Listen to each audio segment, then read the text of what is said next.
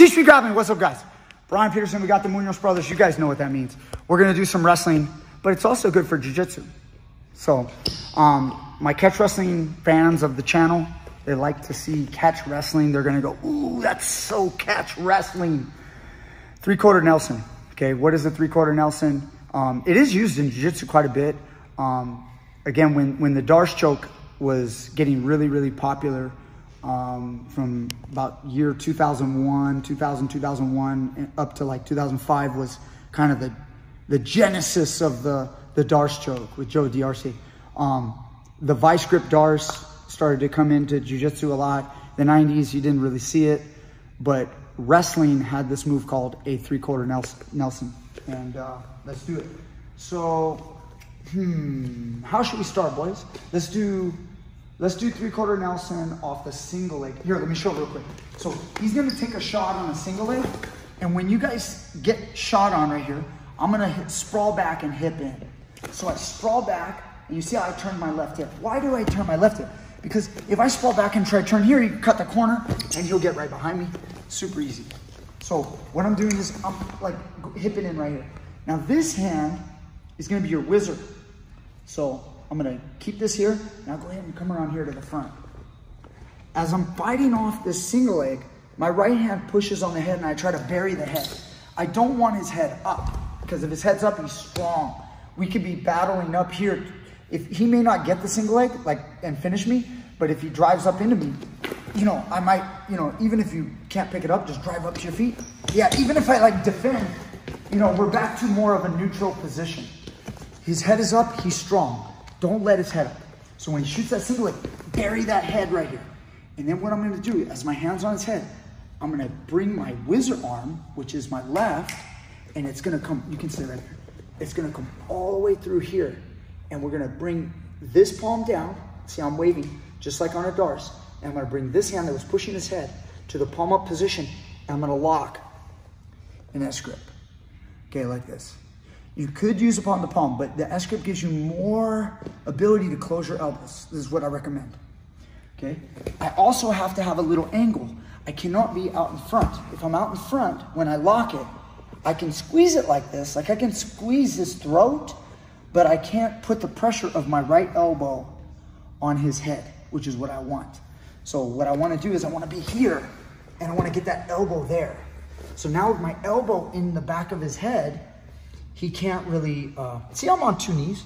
Let's just look at my position for a second. This looks really poor. It looks like my balance is bad. Like if I didn't have this hold, let's say I was like this, he could just drive right into me and finish me. You know, he could run behind me, step in the hole. Yeah, he could go there. Like there's so many things he could do, right? But once I have this locked, he tries to drive into me. It's tough. And now I'm pinching it off and I'm gonna turn him to his side like that. I'm squeezing it. See that hold here? So I'm going there.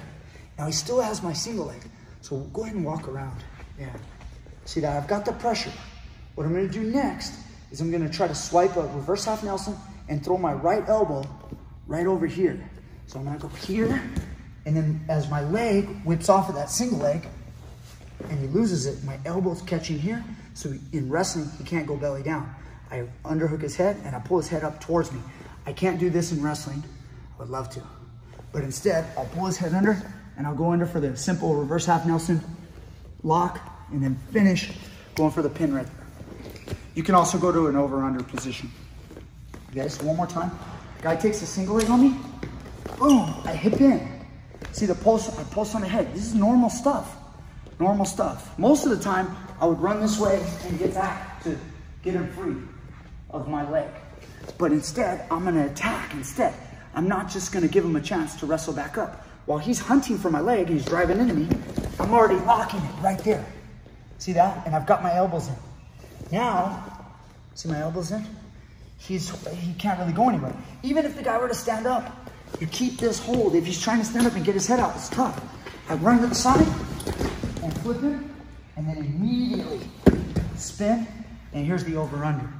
See how I caught this elbow here, over-under, and then now I'm walking towards his head, looking for the fall. Okay? One more time, last time for me, and then I'm gonna let the boys drill a little bit. So again, if he takes that, He takes that, boom, my hip in. See that position right there? As quick as you can while you're in this position, you're jamming the guy's head. The guy wants that single leg. He's charging, he's charging. Lock it up. Now you've got it. If the guy doesn't want to go, you see how he let go of my leg and he doesn't want to go? You try, and then you just come out behind him. Jiu-Jitsu, Allah, seatbelt, wrestling, we're coming into wrestling positions. If the guy wants the base, spin behind. Let's see it, boys. So now they're gonna drill. Nice single leg, look at that. Locking it up, cranking them off, spinning it around, three quarter Nelson. Okay. Of been lost a little bit. There's not a lot of wrestlers that use this hold nearly as much. Most of the time you see it, you see it uh, from behind someone. Maybe we'll show you in a second. Okay, let's do another one. See that? Lock it right there. Lock it with the angle. If the guy wants to pulse his hands, that's fine. We'll just run behind him. Go ahead and uh, get behind him. Let's see what we call the tombstone. Uh, the three quarter with the Iowa stack. So in wrestling, you guys do jiu-jitsu, you probably don't even care, but this is where you will see this commonly in wrestling. You'll see the ankle hook right here. So this ankle hook, while while Trent, or uh, excuse me, Alex is riding Trent, he'll he'll drape this arm above, and it's basically the same hold. He can use this grip, or he can use the pawn palm. We usually use the pawn palm for this version, and then he's basically just going to tip him over. And then the cool thing is, because he's got the leg secured, Trent can't flip all the way, and now he's stuck. And now let's check the pin. I mean, it looks pretty good from there, but let's see it over here. Um, shoulders flat, Alex? I'd say so. Boom. So that's usually where you see it, but um, this move is the same move without the Iowa ride, where we call it out on the West Coast, or the ankle hook. What if you're riding behind someone? Let's see. So Trent's riding behind, you know, Maybe he's going to be bringing his forearm over the top, kind of heavy on the head. He can just go to the lock right there. And if he locks it and pinches the elbows, no, no, you had the lock. You got to make sure that this palm is up. You don't want to have it the other way. If you have it the other way, it's not going to work because now the head, you can't close your elbows. It's very weak. And then the head, uh, Alex, just kind of duck it and then sweep it. Yeah, right in there. That's not good. As long as you keep your elbow down, try to hit that same little duck peek out. You see how he's not letting it? He's not letting you peek out. He's not letting you do anything. He can pinch it off, try to flip you over, and then spin right into the reverse half Nelson, and then you can go there. Now, if you guys are jiu-jitsu guys, let's teach some wrestlers at Dollars real quick. Who wants to try? I'll try. Okay, so hit the same move. So in the jiu-jitsu world, we do the same move, but after we pinch it off and we knock him on his side, like, yeah, right there, what you're gonna do is you're to take your left hand and, and just lift his head, and your right hand's to shoot like an uppercut all the way through, and then just rear naked choke that grip. Yes, right there. And you've got a nice, that's an easy choke. Look at how brutal that is. I'd like to see his face. Nice. I always suggest you guys come over and try to try to hook the hook the mount. You know, try to step your right leg right over, kind of like you're gonna go. Yeah, that's a solid squeeze position. That would be ultimate. Many people do it di with different finishes, but that's what I like. Um, anyway, so there's a little Darce. You, I don't even know. Should we go to the assassin? All right, here's a little brutal. We'll show you guys some brutality in wrestling. Cool wrestling stuff. Um, if you guys, if, if Alex is putting it on Trent and Trent doesn't want to flip, he basically bases and he maybe flattens out and he can't he can't pinch it off because the guy doesn't want to go to his back in wrestling. That's what he he doesn't want to go to his back. Alex is going to take a big step. His heel is going to pull right into here. Nice. And now he's going to use this. And also he's on his left knee over here.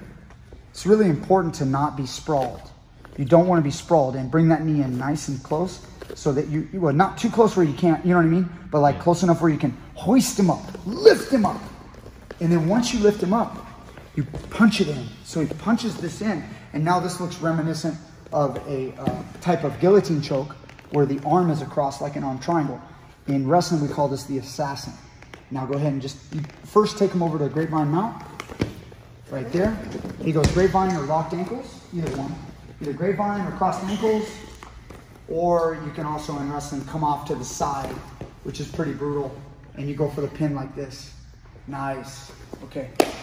And if you really want to cinch it, you sit out with it. Go ahead, Trent. Hit it, hit it on uh, Alex. Again. Guys, this is mostly I'm teaching for the sport of wrestling. A uh, little bit of fancy stuff. Now, say he goes belly down right here. He goes belly down. He doesn't want to go to his back. Really try to flip him before you go, Trent. Like, so you're trying to pinch it off and flip him, and he's staying down. Stay, no, no. Uh, come back a little bit. Come back this way, and shoot this, and really try to flip. Yeah, like that, like that. I want to see that, that, that. He doesn't want to go. Step over, hoist him up, lift, punch it in like a like a choke. But he's got the arm in, guys. So it's legal in wrestling, and he's right in the assassin. Beautiful mount position, off to the side. Can you give me a little sit out?